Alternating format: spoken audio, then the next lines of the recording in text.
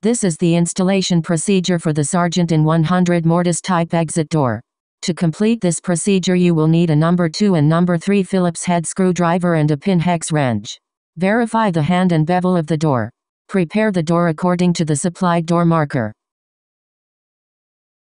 Install the door position switch. DPS. Push the wires through the raceway. Push the DPS firmly into place by hand. For metal doors use the collar as shown. Note. Do not tap the switch with any tool.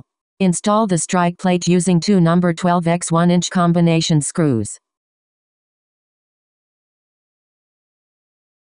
Slide the mortise lock into the door and loosely secure with 2 flathead screws.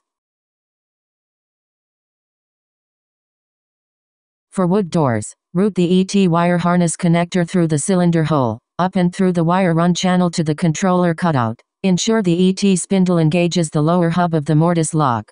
Secure the cylinder. Retrieve the harness from the end of the rail. The harness has a limited travel and can be damaged. Attach the harness to the female connector on the chassis. Attach the rail to the chassis. Note, this is easier with the latch retracted. Secure the rail to the chassis using 2, 8, 3 2, X 5 16 inch Phillips head truss head machine screws. Connect the 5-pin male and female connectors of the ET wire harness. Note, exit chassis harness consists of a 6-pin male connector and two different sized ground lugs. Feed the chassis harness through to the outside of the door. Begin to secure the exit chassis using 2, 1 quarter 20 x 2 3 8 inch flathead machine screws. Tighten fully. Verify that the key retracts the latch bolt. Secure the chassis cover to the chassis using 4. Number 8 32 inches x 5 16 inch oval head machine screws. Attach the back end bracket with 2. Round head screws. Secure the rear bar end cap with 2. Phillips head screws.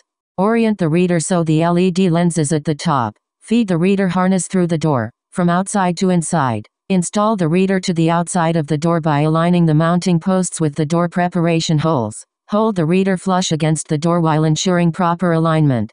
Feed the cables and connectors through the gasket. If necessary, the gasket should be used for outdoor installations. Then position the cables as shown and feed them through the bracket. Do not run the wires through the hole in the plate. This will damage the wires and the controller connector. Route the wires around the flange. Do not route the wires through the flange hole. Secure the mounting assembly while ensuring proper alignment of the outside reader and tighten the 2 through bolts on the inside of the door to secure the reader.